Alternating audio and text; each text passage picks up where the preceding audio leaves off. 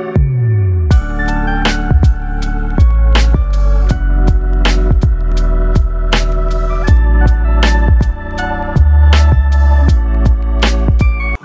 आडवाणी को बांद्रा में जुग जुग जियो सॉन्ग रिहर्सल के लिए देखा गया।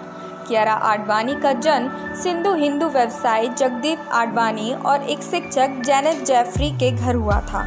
उनके पिता मुस्लिम थे, वहीं उनकी माँ एक ब्रिटिश ईसाई थी।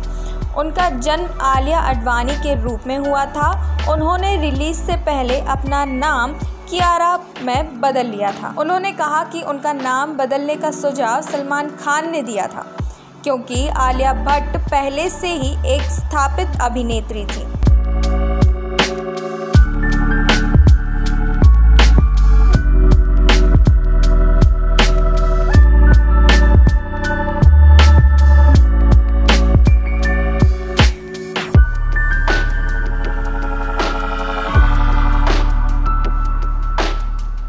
ऐसे ही कई सारे एक्टर एक्ट्रेसेस की स्पॉटेड वीडियो देखने के लिए बने रहें हमारे साथ और देखते रहें एस बॉलीवुड